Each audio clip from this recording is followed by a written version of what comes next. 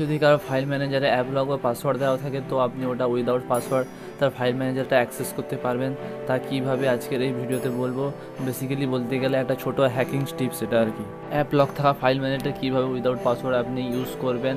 তবে জানার জন্য শেষ পর্যন্ত ভিডিওটি দেখতে হবে। এরকম মোবাইলের টিক্স অ্যান্ড ট্রিক্স জানার জন্য টেকনোলজিক্যালকে সাবস্ক্রাইব করুন। তো আমি প্রথমে দেখিয়ে দিই সবাইকে যে আমার ফাইল ম্যানেজার এখন অ্যাপ লক করা আছে। এটা পাসওয়ার্ড এন্টার করতে হবে, নাহলে ফিঙ্গারপ্রিন্ট দিলে এটা লক খুলবে। তো আমি এটাকে কীভাবে অ্যাক্সেস করব? অ্যাক্সেস করতে উইদাউট পাসওয়ার্ড আমি অ্যাক্সেস করতে পারব?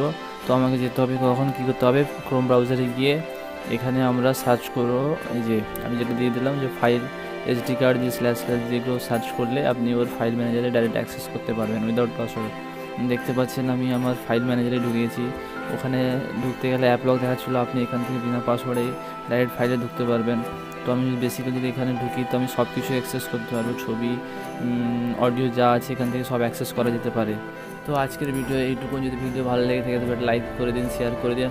আর নিজেকে সিকিউর রাখার জন্য ফাইল ম্যানেজারের সঙ্গে সঙ্গে ক্রোম ব্রাউজারটাকেও অ্যাপ লক করে রাখুন। আজকের মতো ভিডিও এইখানেই শেষ। Bye bye and take care